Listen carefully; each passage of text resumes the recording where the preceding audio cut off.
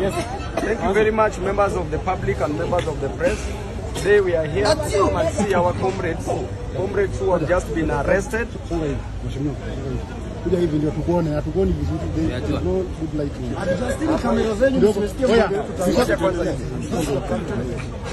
twende. We are here at Central Police Station to come and demand for the immediate release of those people who have been arrested because of demonstrating. Demonstration is a constitutional right because they were demonstrating peacefully and they were against the draconian finance bill.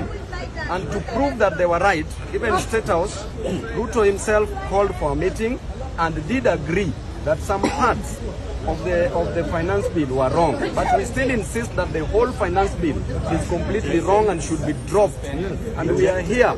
We are here to demand for the immediate release of our people who have been arrested here.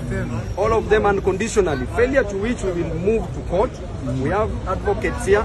Law Society of Kenya is here. We will move to the courts to file for a constitutional petition against the IG Koome so, for the for violation of the rights and infringement of the rights of the Kenyan citizens.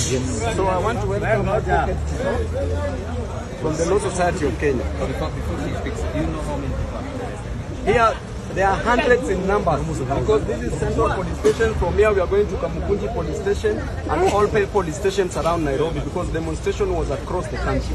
So we want the unconstitutional release of these of, of Kenyan citizens who have been illegally uh, uh arrested.